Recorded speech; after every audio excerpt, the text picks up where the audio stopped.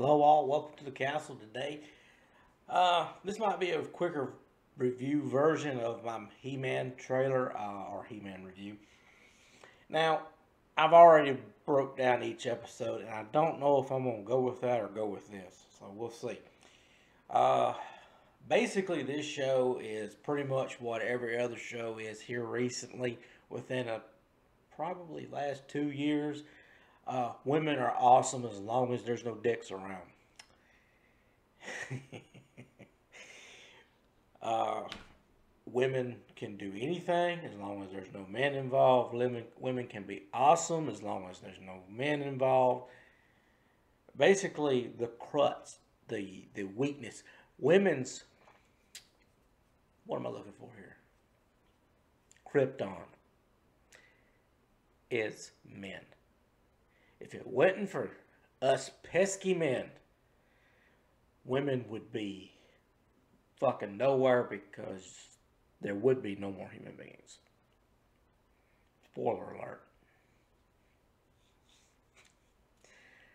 Uh, Skeletor, the highlights. Let's go with the highlights first.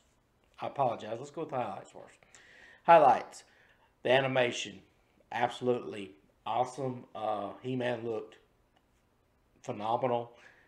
What little he was there, which was fucking pathetic. Uh, I've people have said Evil-Lyn.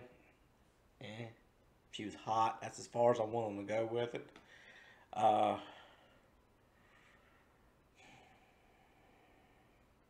the concept would have been a cool concept if they would have been less obvious with with all the SJW bullshit that they threw in it. This is 100% woke. If you see anyone that says that this wasn't woke, you may not want to watch them anymore because they don't know what they're talking about. This was woke, full on. Uh, there was no CT in it, and that was about the best, other best part that I can say. Now let's get into the bad part of it. Skeletor. I can appreciate Mark Hamill. I'm, I'm glad he got this job. I hope he got a good paycheck. And on the odd or bonus, I don't know quite what to call it, on Netflix flicks trending, He-Man itself is way down the line. It's like six or seven, and the post show, which I didn't bother to watch, and they're interviewing Mark Hamill about doing Skeletor is way up. It's like number two, which I thought was funny. People would rather watch that than watch the show itself.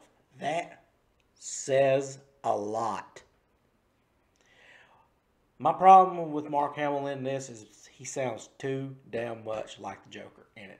I'm sorry, that's just the way it is. I was waiting for him to say something like, all right, bats, let's do it again, or some bullcrap like that. But whatever, it is what it is. I don't understand why they did not use the original voice of Skeletor. They had him in the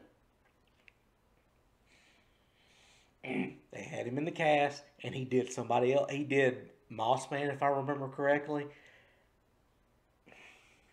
Neither here nor there. Other issues. Teela. Teela was 10 times better back in the original He-Man stuff. Her voice. I don't know who voiced her. I do not care. I am not going to spend the time to go look it up. I care less. Don't know who she is, but she is she is 110% ex-girlfriend. She is ex-wife. She is Hillary Clinton. This just grating voice that gets on your nerves and you just want to walk up to her and say, bitch, shut the fuck up. Nobody cares. oh God, it's so nasally. It's just, oh, it's, and it gets, honest to God, you just, it, it made it hard to get through, especially, uh, the episode where it's talking about her fear, which was, wow, it was bad Her fear is how amazing she is. Not making that up. The devil being Skeletor wannabe, whatever it was, told her that. I wished I was making that up. That's how bad it was. But this show on a whole, I'd probably give it a four. Four out of ten. Now, each episode, depending, because the worst episode was episode three, where it was hinted. The reason why Teela got so upset is she may have had feelings for He Man. It's alluded to. But also in the same episode, Evil-Lyn alludes to she had feelings for Skeletor, but because of uh, the D, she held herself back, and because of that, she could have been a master. I could have been a master of the universe if it wasn't for that D. And I wished I was making that up too. That's just the way it came off. If it wasn't for a man, I could have been awesome. That's it. I don't want to say that. I almost, ooh. That would have been taken the wrong way by not my viewers, but others that control whether or not this is seen. If you want time to